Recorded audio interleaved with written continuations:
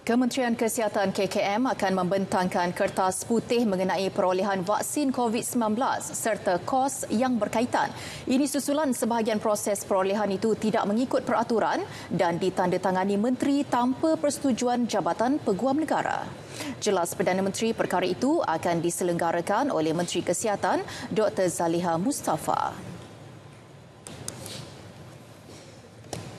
Dr. Zena will give the details. Um, suffice me to say that we decided on this um, presentation of the white paper uh, primarily because um, of the findings by the Ministry of the Ministry of Law on the irregularities and um, transactions or approvals uh, given uh, not according to due process and the procurement, some of it are questionable in terms of numbers and the costing. But I think uh, she will present it to Parliament.